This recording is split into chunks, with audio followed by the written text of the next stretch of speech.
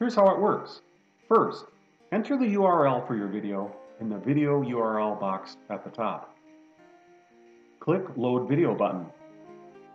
The video will load and start playing. Let's create a mark.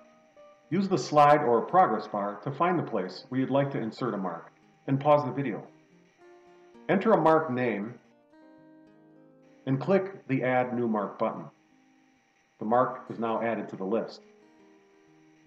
Create other marks in the same manner. Let's make a submark.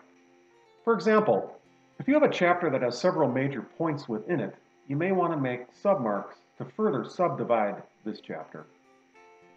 Hold down the Alt key and click on the mark under which you'd like to make submarks. A red border appears around the selected mark.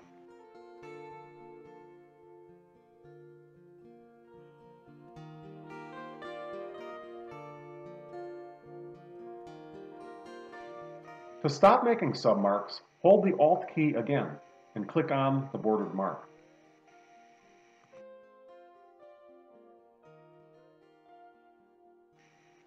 Play from the start to see how the marks are aligned in the video. First, the cup is made. Click on any marks to jump directly to that point. A small amount of glass is gathered on the end of a blowpipe and rolled back and forth on the metal table called the marver. To save your work, enter a name in the video map box. Then click the Save icon. Success message will appear.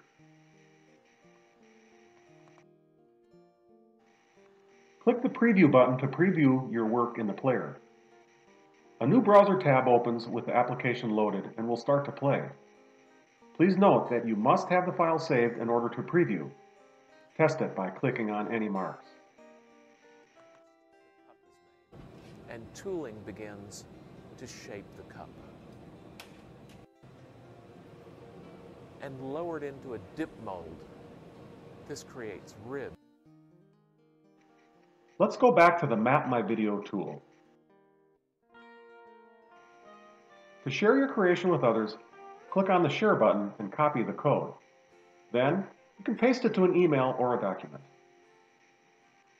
To embed it in a web page, click the Embed code and copy and paste it into the appropriate place in a web page.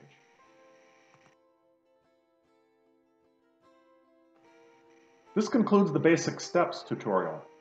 Learn more details in Video Tutorial Advanced.